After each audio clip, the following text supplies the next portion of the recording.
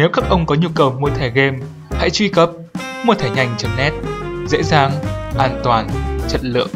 Link website ở dưới phần mô tả. Xin chào, xin chào và xin chào. Đây là cái video mà đưa hầu hết những người anh em ở đây đến với tôi. 100 ngày trong thế giới Minecraft Unblock. Hôm nay tôi sẽ chơi lại Minecraft Unblock nhưng là cùng với những người anh em ở đây trong server rasma.vn. Trong server thì chắc chắn là sẽ có nhiều thứ mới lạ hơn rồi, nên là còn chờ gì mà không bắt đầu thôi. Có vẻ như là tôi lại bị đưa sang một thế giới khác mấy ông ạ. Nhưng mà ông thấy đấy, xung quanh tôi chẳng có gì cả ngoài uh, một block. Trời ơi, lâu lắm rồi mới chơi lại cái chế độ này, hoài niệm quá mấy không? Tôi biết là một vài những người anh em ở đây là biết đến tôi qua cái video một trong ngày unblock nên là chắc tôi cũng chẳng cần phải giới thiệu nhiều unblock là cái gì đâu ha. Vì yeah, mới đầu thì chỉ có một block như này thôi và đây là block vô hạn. Tôi đập thì nó sẽ ra nhiều khối khác nhau. Đó, Chơi server thì à, nó cho tôi sẵn một cái bộ dụng cụ bằng sắt. Vậy mà từ nãy tôi cứ đào bằng tay. Trời ạ. Đào được một lúc thì à, tôi craft cho mình một cái bàn chế tạo Xong rồi craft mấy cái phiến để mở rộng cái chỗ mình đứng ra. Không có thì nhìn như này trông nó tranh vênh quá mấy ông. Tôi đang ở cái phase đầu tiên, cái giai đoạn khởi đầu. Ở cái giai đoạn này thì à, nó sẽ cho tôi những cái block khởi đầu như là gỗ này, đá này và có cả động vật nữa, chắc chắn rồi. Server này thì có một thứ khá là tiện, đó là auto tune nó sẽ tự đổi đồ cho mình khi mà mình đào cái khối vô hạn này. Đó, mấy ông thấy nó tự đổi không? Tiện phết nhỉ? Giờ thì tôi sẽ phải mở rộng cái đảo của tôi ra. Tại vì có vẻ như là trong server này thì ờ, động vật nó xuất hiện hơi nhiều phải không ạ? Lúc tôi đập cái khối vô hạn này thì ờ, sẽ có một cái thanh hiện lên ở trên để thể hiện cái quá trình mà tôi đập. Đó, cái phase đầu tiên này thì ờ, tôi sẽ phải đập 1000 block thì mới xong được. Chơi server này thì mọi thứ nó khá là nhanh. Mới đào có một lúc thôi mà đã có than và cả sắt rồi. Tôi nhận được một cái dương bình thường thì trong này sẽ có xô nước nhưng mà tôi lại nhận được một cái đĩa nhạc phải không ạ? Ừ. Ờ, đây là bọt biển đúng không? Tại sao face đầu tiên lại có bọt biển? Wait what? À thật đấy. Sau đó thì ờ, tôi lại mở rộng đảo ra.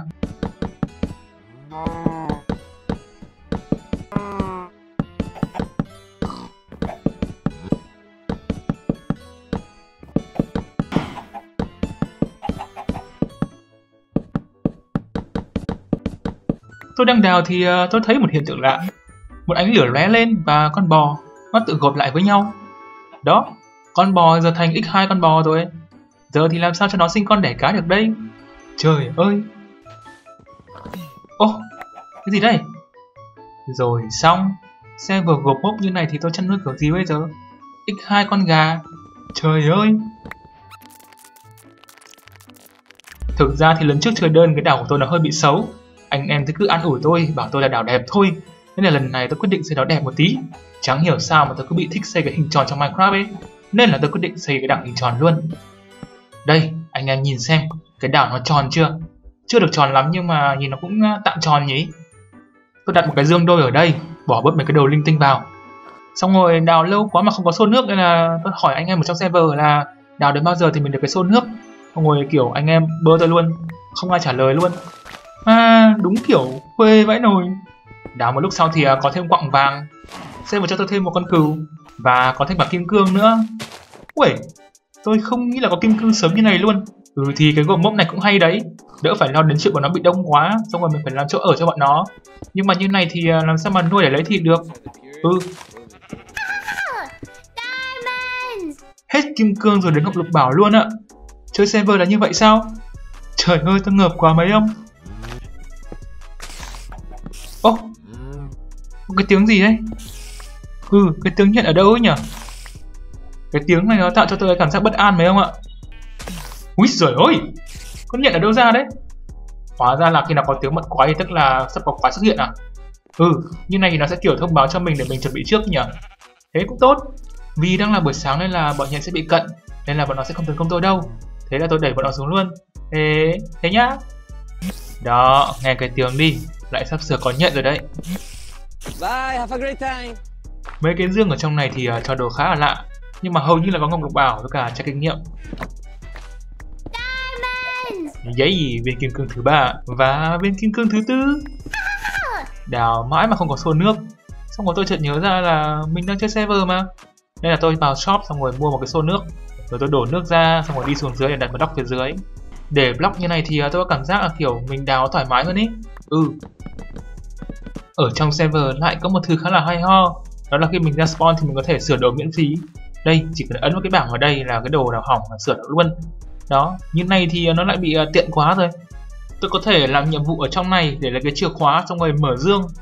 Đây, rất nhiều nhiệm vụ luôn. Anh em có thể làm nhiệm vụ để lấy chìa khóa mở dương. Đồ ở trong dương thì ờ, cũng tạm tạm thôi, không ngon lắm đâu. Tại sao tôi lại đang chạy vòng vòng như thế này? Thì ờ, tôi đang làm nhiệm vụ đây anh em đó có một vài cái nhiệm vụ đó khá là buồn cười. Ừ. Sau đó thì uh, tôi lại quay trở lại công việc đào mới của mình. Thì uh, đào trong server này nó hơi bị lâu phải không ạ?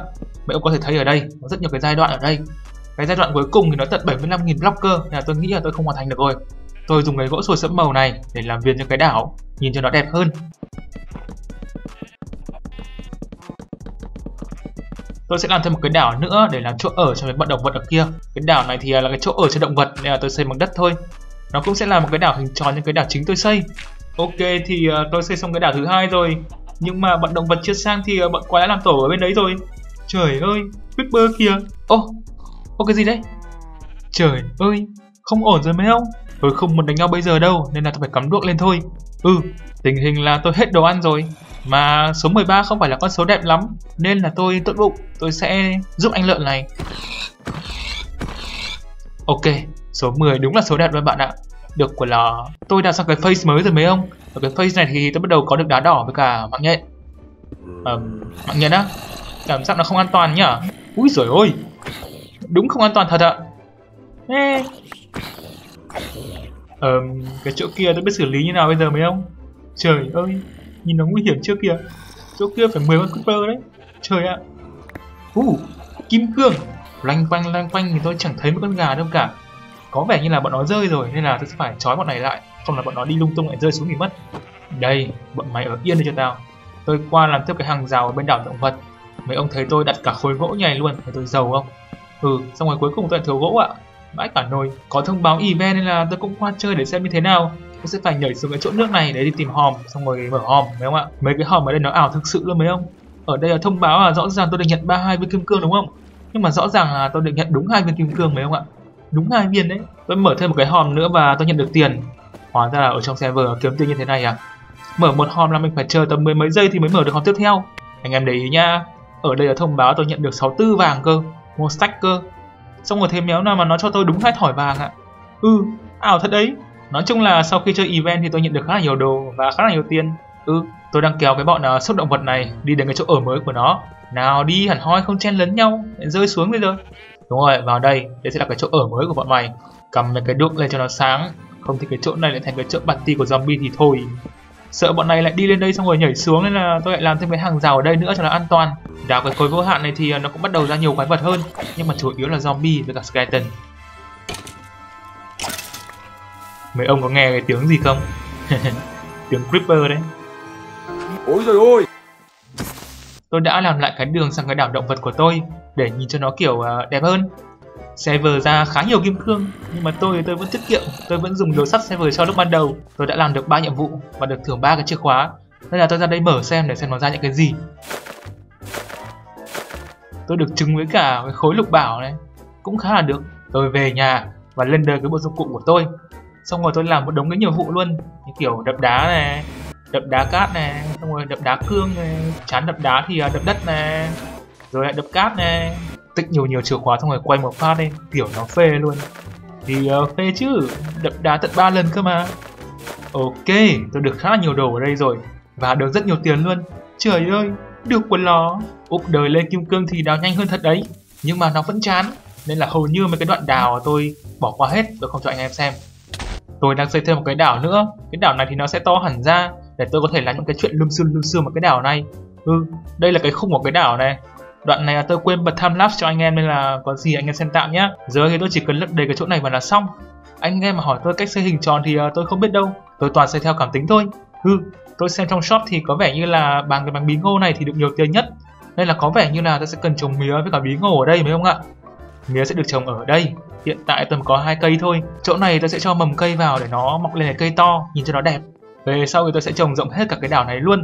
Nhưng mà hiện tại thì chưa có đồ nên là thôi nhè được rồi u uh, hắc diện thạch thực ra trong server thì tôi có thể mua hầu như mọi thứ bằng tiền được mà nên là nó cũng chẳng hiếm lắm. Những người anh em chơi on block hay là bất kỳ cái chế độ skyblock nào cũng cần phải làm một cái máy farm mob thực sự đấy nên là tôi làm thêm một cái đảo nữa để làm máy farm mob cái đảo này thì à, tôi làm bằng đá thôi tại vì lần trước làm bằng gỗ xong rồi nó cháy thì sợ vãi nồi rồi. Đó trang trí bằng những cái khối đá khác nhau làm kiểu xen kẽ dùng nhiều khối đá ấy. cái máy farm mob thì tôi xây như bình thường thôi giống hệt cái máy mà tôi đã hướng dẫn mấy ông ý tôi dùng nhiều loại đá khác nhau, xong rồi đặt kiểu random ra. Nhìn nó khá là ok ấy nhở? Đây, cái máy phong quái đã bắt đầu hoạt động rồi. Nhưng mà tôi không tính tới một điều là server gộp mốt mấy ông ạ. Tức là sao? Tức là những con quái khi mà spawn ra thì nó sẽ kiểu x2 x3 x4 lên ấy. Như thế thì cái mật độ quái ở trên đấy nó sẽ không dày đặc. Vậy thì con quái nó sẽ có nhiều không gian để di chuyển hơn. Nên là cái tỷ lệ nó rơi xuống dưới nó sẽ ít hơn đó sau đó thì uh, tôi lại đi làm ruộng thôi tôi để ý thấy một vài ông là kiểu cứ xây một hàng đất xong rồi lại là một hàng nước luôn như thế thì tôi thấy là một là mấy ông làm như thế cho đẹp còn hai là mấy ông núp Thật đấy, tại vì một ô nước có thể làm ướt được 4 block đất xung quanh nó. Vậy nên là nếu mình có hai hàng nước thì mình có thể đặt được tận 8 hàng đất ở trong cơ mà, đúng không? Anyway, tôi chỉ nói cho mấy ông không biết thôi. Còn mấy ông biết rồi thì miếng mọc rồi nè. Ê, chúng ta không thể mua được một lát dưa hấu ở trong shop, nhưng mà chúng ta lại có thể mua được một quả dưa hấu. Hiện tại thì à, vẫn chưa có bí ngô, nên là tôi sẽ trồng tạm dưa hấu ở đây. Đặt dưa hấu ra, xong rồi phá, lấy hạt, cuốc đất, xong rồi trồng xuống. Tạm thời thì trồng ba hàng là ổn rồi. Ở chỗ này thì uh, vứt đi. Tôi sẽ cho nó thêm bột xương để nó nhanh lớn hơn. Có mấy ông TBA tôi và vì một lý do nào đó mà tôi đồng ý. Xong rồi tôi có xin mấy ông đấy bí ngô, rồi uh, mấy ông đấy bơ tôi luôn, xong rồi uh, biến mất luôn vãi cả nồi quê part 2 ạ. Sau đó thì tôi đi chơi event để giải tỏa một tí. Tôi có khá là nhiều tiền nên là tôi quyết định ra khu trao đổi để đổi một cái cuốc. Tại vì tôi đào khá là nhiều mà, tôi sẽ cần phải lấy nguyên liệu ở đây và nguyên liệu ở đây thì chủ yếu toàn là đá thôi. Chúng ta hoàn toàn có thể mua ở trong shop được. Tôi bắt đầu mua một đống đá để đổi đồ và tôi nhận ra rằng là cái đồ ở đây nó khó đổi thực sự mấy ông. Khó ở đây không phải là về độ hiếm của nguyên liệu mà là về cái số lượng ấy. Trời ơi, tôi phải đổi nhiều thực sự mấy ông ạ.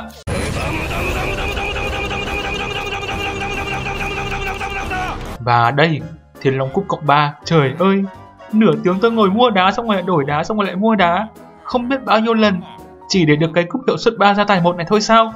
Trời ơi, vãi cả nôi, giờ tôi phải dùng auto click thôi, chứ thực sự là tôi mỏi tay lắm rồi. Thấy chưa? Sức mạnh của phần mềm thứ ba đấy. Ê... Giờ thì tôi đã hết sạch tiền rồi và tôi đã có được huyền long cúc cộng 4 dù cho đã có auto click rất nhanh rồi, nhưng mà tôi vẫn phải dành ra gần một tiếng để đổi đá mà vẫn chưa lên được huyền long cúc cộng 5. Trời ơi, tôi đang ở trong dungeon của server. Ở đây thì mẹ ông có thể farm được quái, zombie, skeleton xong rồi nhện các kiểu. Dungeon có cả boss nữa, còn boss này thì không phải lắm, cũng bình thường thôi. Nhưng mà tôi thì yếu, trời ơi, rất quái ở đây thì nó có tỷ lệ rơi ra đá quậy một. Đó, mẹ ông có thể farm ở đây thay vì ngồi mua đá xong ngồi đổi như tôi. Huyền Long Cúp có khác, trời ơi nhanh quá. À quên mất, cái cúp này thì có thể dùng để đập zombie luôn Tại vì đam của nó thì bằng cái kiếm Còn cái tốc đánh của nó thì nhanh hơn kiếm luôn Đó Trong server thì ờ, tôi không thể ngủ được nên là buổi tối thì bọn này cứ vo ve ở đây thôi. Trời ơi, phiền thực sự ạ. Tôi làm cái khu phục phép ở đây để enchant đồ Sau đó thì tôi tiếp tục đào và đào sang cái face tiếp theo face bằng giá. Tôi thấy farm kinh nghiệm của dungeon nó còn lên kinh nghiệm nhanh hơn cái mấy farm của tôi Nên là tôi sang đây farm. Cái cuốc của tôi thì uh, dùng ngón đa nhiệm thực sự. Trời ơi, cầm đi đập quá như đúng rồi vậy. Này thì boss về chúng tôi này. Ơ kìa anh bạn, để tôi giúp ông. Oh no! Ở cái face băng giá này thì có tuyết và băng. Nó bắt đầu spawn ra mấy con động vật ở cái vùng này như là thỏ này rồi có bắc cực này Có cả stray nữa. Sau đó tôi gặp được một anh bạn Và chắc chắn là anh bạn này sẽ tên là mèo rồi. Đừng ai hỏi rồi tại sao. Rồi tôi gặp được cả người tuyết nữa. Rồi, cái này mới nha.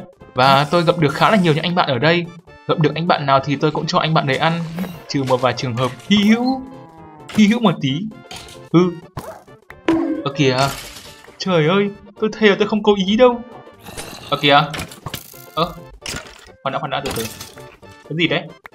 Bây giờ thì tôi đập kiểu gì bây giờ mấy không? Tối năm nay đã 19 tuổi rồi mà, tôi chưa gặp trường hợp nào đó như thế này. Trời ạ.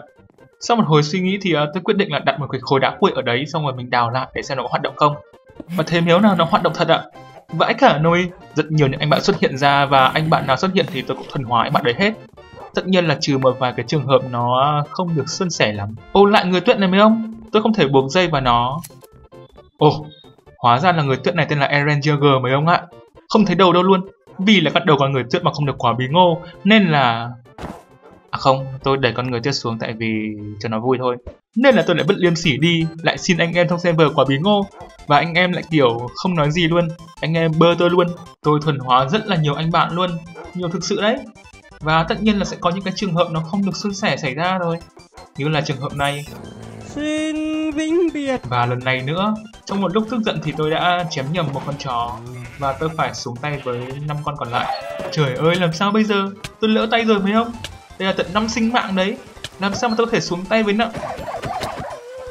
Tôi tiếp tục đào và đào ra người phase tiếp theo, phase đại dương. Ở cái giai đoạn này thì nó sẽ cho những cái khối của đại dương, chắc chắn rồi. Nhưng mà từ đoạn này thì cái auto tune của server nó bị lỗi, nên là tôi phải đổi các dụng cụ bằng tay. Mấy con quái ở giai đoạn này khi xuất hiện thì nó sẽ mang theo mấy cột nước. Đây, mấy ông nhìn xem, nhìn nó mất thẩm mỹ vãi nồi. Dọn thì con khác nó lại ra và lại mang theo một cái ô nước này là thôi, tôi để nguyên ở đấy. Dù sao thì nó cũng chẳng ảnh hưởng gì chỉ nhìn nó hơi bị xấu thôi. Sau đó thì uh, tôi ngồi cày nhiệm vụ. Tôi làm khá là nhiều nhiệm vụ chủ yếu là mấy cái nhiệm vụ đập khối thôi. Rồi tôi mang chìa khóa đi quay. Lần này quay khá là nhiều nhưng mà đồ nó lại không được ngon lắm. Ừ, chủ yếu là tiền thôi. Dungeon ở trong này phải mua mấy ông ạ. Vì có khá là nhiều tiền nên là tôi mua Dungeon 3 xong rồi qua review cho anh em xem thử. Ừ, và đây, đây là Dungeon 3, khu băng tuyết. Ngoài việc quá nó khỏe hơn ra thì nó cũng chẳng có gì khác cả. Đánh thì nó vẫn rơi ra nguyên liệu một. Ừ, đá quậy một. Nó chẳng có gì thú vị hơn cả. Tôi lại ra đây, muda muda mấy anh dân làng bán hàng, mua đá xong rồi lại đổi đá. Đó, cách tôi tiêu tiền nó hoang phí như thế đó. Và tôi đã dùng hết tiền, cùng với đó là một đống thời gian nữa mà chúng ta mới chỉ đổi được 1 phần 5 cái số nguyên liệu cần thiết thôi. Trời ơi, Lâu vãi nồi, mặc dù là đã bị bơ ba lần rồi, nhưng mà tôi vẫn tiếp tục vứt cái liêm sỉ của mình đi, tiếp tục hỏi anh em ở trong server là có ai có bí ngô không, có thể cho tôi một quả không? Nhưng mà lần này tôi hỏi theo cái kiểu là ai có bí ngô không cho tôi mua. Đó, thế là lần này tôi không bị bơ nữa và đã có một anh bạn, anh bạn cho tôi một quả bí ngô. Yeah, anh bạn à, nếu mà anh bạn đang xem video này thì tôi chỉ muốn nói là ông đẹp trai vãi nồi. Thế là tôi về nhà và hết cái ruộng dưa hấu đi để thay vào là trồng bí ngô. Rồi thì tôi cũng mở rộng cái ruộng của mình ra hết hòn đảo luôn. Sau một thời gian đào thì uh, tôi thấy là tôi sẽ phải thay đổi cái khu vực đào này để tôi có thể an tâm hơn khi đào, có thể treo máy AFK ở đây luôn. Và đây là cái khu vực đào mới của tôi. Tôi ốp hẳn hắc dự thạch ở dưới này luôn. Giờ thì an toàn rồi. Bọn Brown ở kia mà nó không thể động vào tôi được nữa. Nhưng mà tôi lại nhớ ra là cái auto tune của server nó bị lỗi nên là tôi vẫn phải ngồi ở máy tính, đổi đồ. Tôi vẫn chưa thể treo máy AFK được. Tôi không thể buộc dây vào con rùa được, nên là, yeah, tôi sẽ để nó ở dưới này. Kệ nó ở đấy. Tôi đã đứng đảo ở đây một thời gian khá là lâu, đâu đó khoảng 1 đến 2 tiếng gì đấy. Bọn nó spawn ra khá là nhiều cá, rùa các loại. Mấy con rùa này, tôi đã định là không để ý gì đến nó rồi. Kệ nó ở đấy rồi. Nhưng mà bọn nó lại làm cái trò mắt dậy này. Đây mấy ông thấy không? Tôi đang đứng yên đào bọn nó ra đẩy tôi ạ. Trời ơi! Ai dạy bọn mày đấy? Hôm sau tôi vào lại server thì uh, tôi thấy là mấy con cá nhỏ như kiểu cá hồi cá tuyết xong rồi cá nhiệt đới nó biến mất hết luôn. Chỉ còn lại mấy con rùa thôi. Trời ơi con cần biến mất thì không biến mất ạ. Mấy cái xô cá tôi để ở trong này thì chắc là giờ không cần nữa đâu. Tại vì thả ra thì bọn nó biến mất hết mà. Vườn bí ngô cũng lớn hết rồi. Nên là tôi thu hoạch xong rồi làm bánh bán thử để xem được bao nhiêu. Và kết quả thì nó ngoài mong đợi luôn. Trời ơi ít vãi nồi. Thế là tôi lại phá hết bí ngô đi cuốc thêm đất để trồng cà rốt. Cái vườn bây giờ thì uh, nó trông như thế này đó toàn cà rốt thôi. Tôi bắt đầu đào đến cái đoạn địa ngục rồi. Và đây là cái giai đoạn mà tôi sợ nhất ở trong game luôn. Ui rồi ôi ra sớm thế. Trời ơi. Sợ là tại vì ở giai đoạn này có gas với cả blaze. Hai con này thì mấy ông biết rồi đấy. Không cẩn thận cái là cháy nhà như chơi luôn. Và để tăng cái tính an toàn hơn thì à, tôi đầu tư thêm obsidian để làm cái chỗ này thành một cái phòng. Ok tôi nghĩ như này là an toàn rồi đấy. Ừ tôi đang làm thêm một con đường nữa để ra cái đảo mới. Cái đảo lần này thì à, tôi sẽ làm nó to hơn. Nó sẽ to gấp 2 gấp 3 lần với cái đảo kia để làm gì á? Để tôi làm nhiều thứ nó to hơn ở đấy. Những thứ nó lớn hơn, nó kỳ công hơn, nó lum xum lum xum hơn. Anyway, đây là viền một cái đảo. Đó mấy ông thấy nó to chưa? Xin lỗi tại vì tôi quên bật time lapse nên là không cho mấy ông xem được. Ừm thì ờ, có cái phòng này nó cũng an toàn thật đấy. Nhưng mà tôi nghĩ là nó chưa đủ an toàn đâu. Ừ ok. Mọi thứ vẫn đang ở trong tầm kiểm soát. Nhưng mà lúc nãy con Blaze nó bắn ra làm tôi có linh cảm hơi bị xấu ấy. Úi giời ơi, biết ngay mà. Trời ơi, còn gì nữa đâu giờ chỉ biết đứng nhìn mà nó cháy hết thôi chứ làm gì nữa. May là chỉ có bốn cái cây thôi, tôi sẽ phải sửa lại cái chỗ này đây. Ok, có vẻ như là con gas bị kẹt lại rồi. Nó không bay ra ngoài được nữa. Ô cái gì đấy? Ơ kìa đây là hắc diện thạch đấy, bro.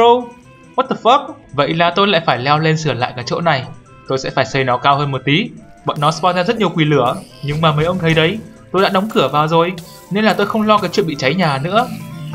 Thực ra là còn gì đâu mà cháy. Úi rồi ôi lại nữa nó là hắc diện thạch đấy Tại sao mày có thể phá nó một cách dễ dàng như vậy hả? Thôi tôi mệt rồi. Tôi sẽ bỏ việc ở đây một thời gian vậy. Tôi sang Dungeon 3 để xả stress vào bọn zombie.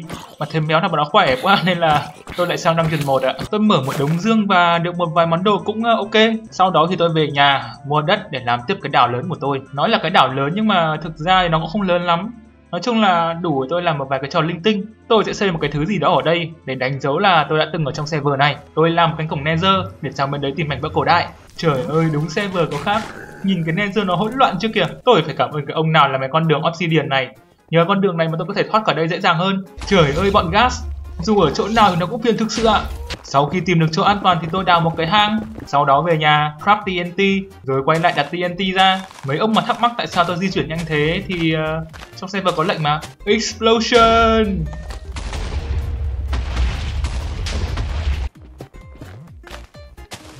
Explosion! Bắt hai. Au. Ok.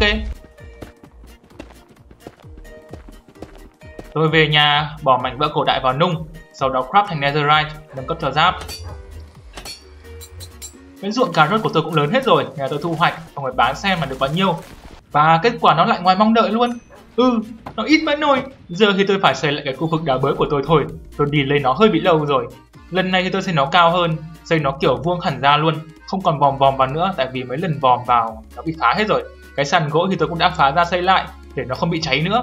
Giờ thì tôi đào thoải mái hơn rồi, nhưng mà tôi vẫn chưa thể AFK được tại vì bọn magma này, bọn nó có thể đánh tôi và thỉnh thoảng thì có vài con quỷ lửa nó xuất hiện ra, nó có thể bắn tôi.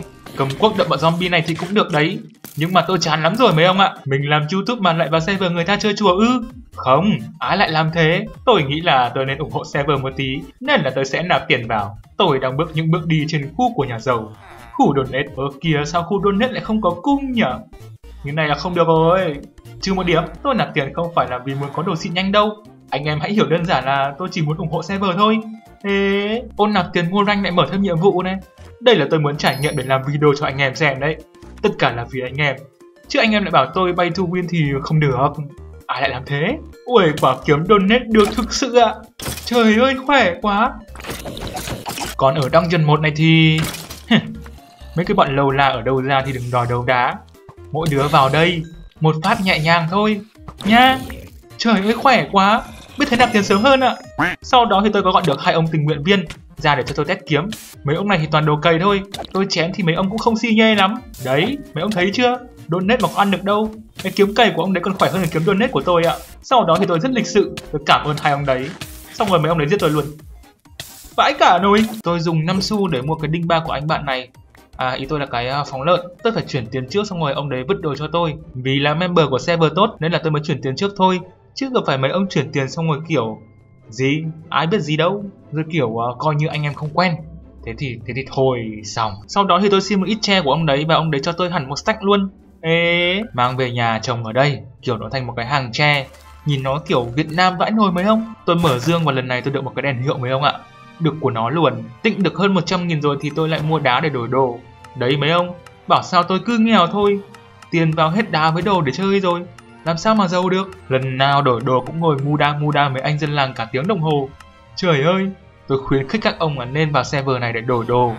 Mấy ông sẽ biết được cái cảm giác đau cổ tay là như thế nào. Anyway, tôi đã dùng hết hơn 100 nghìn rồi mà vẫn chưa đủ đồ với ông ạ. Tôi mới đi được khoảng 4 phần 5 quá trình thôi.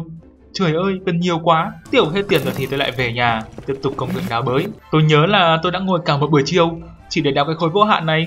Đâu đó khoảng 2 đến 3 tiếng gì đấy. Ừ, mệt vãi nồi.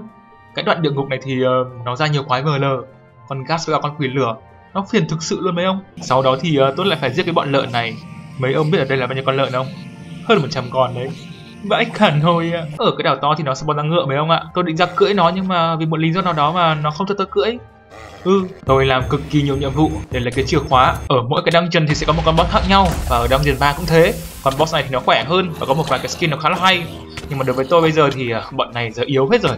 Bọn lâu la này có hai cái nhiệm vụ khá là hay đấy là giết 10 người với cả giết 30 người. Trời ơi tôi không biết ông nào nghĩ ra cái danh sách nhiệm vụ này nữa nhưng mà ok. Rồi tôi hỏi anh em ở trong server là có thể ra đây để cho tôi giết 10 mạng được không? Và thế nếu nào có ông ra thật ạ? Vãi cả nồi sau đó thì ờ, tôi ra một cái chỗ hỗn chiến ấy kiểu anh em tập hợp lại để cùng làm nhiệm vụ ấy. Ừ tính ra thì cái nhiệm vụ này khá là hay. Tuy là giết người nhưng mà lại gắn kết tình anh em với nhau. Ê, mấy ông ở đây thì đồ cày nhiều rồi. Nên là dù tôi cầm đồ donate thì cũng không đánh được. Có ông còn thương tình tôi lại để yên cho tôi giết cơ. Trời ơi! Xong rồi có ông rủ tôi solo bắn cung Bỏ hết giáp ra. Cung thì tôi chơi chứ Sở trường của tôi mà. Ờ kìa, mạng này không tính nhá Mạng này nháp nhá Ừ, này này thì, úi giời, tôi nói rồi. Nhát thôi. Này thì, đấy 21 Ui rồi, Ender Pearl à? Ender Pearl à? 41 51 Hay da da, lụa à, lụa. À à, Ok, ok 52 Ender Pearl à? Này thì lụa với chúng tôi này.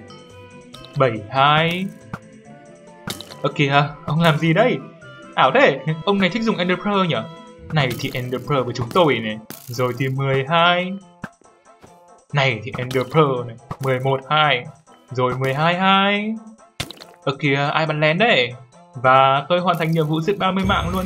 Trời ơi, sau đó thì tôi đi quay cả một đống. Hai mấy cái chìa khóa ấy Được cả đống đồ, cả đống tiền luôn. Nhiều thực sự ạ, có tiền rồi thì ờ, tôi lại đi mua đá đổi đồ. Gặp mấy anh dân làng và...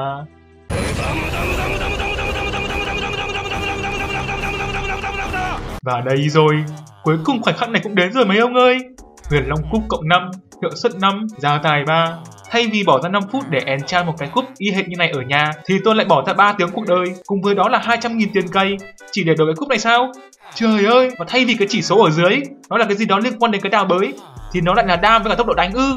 Vãi cả nôi Thay vì đổi cái cúp đấy Thì tôi đã có thể đổi được cái kiếm này. Đây, nó bằng luôn cái kiếm donate của tôi luôn. Trời ạ, thôi Tôi nghĩ ở trong server chẳng ai ngu đến mức đổi cúp đánh như tôi nữa đâu. Wow, Huyền Long cúp cộng 5 đào thật là nhanh. Wow, hiệu suất năm thật là nhanh quá đi. Lúc này thì tôi đã cài thêm cái mod auto tune vào rồi, nên là đào nó tiện hơn một tí. Tôi đã đào sang cái đoạn tiếp theo, cái đoạn rừng rậm. Chỗ này thì nó sẽ có mèo rừng này, dưa hấu này, xong rồi gỗ rừng, với cả nhiều quặng ngọc lục bảo hơn. Nó còn có thêm cả phù thủy, vẹt, gấu trúc với cả dân làng nữa.